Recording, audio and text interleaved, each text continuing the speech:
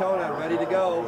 3.30 is our official start time. We got about 10 minutes. A little nervous, but uh, I think you should be right now. We've had, uh, you know, we've been working working for months to get this program ready.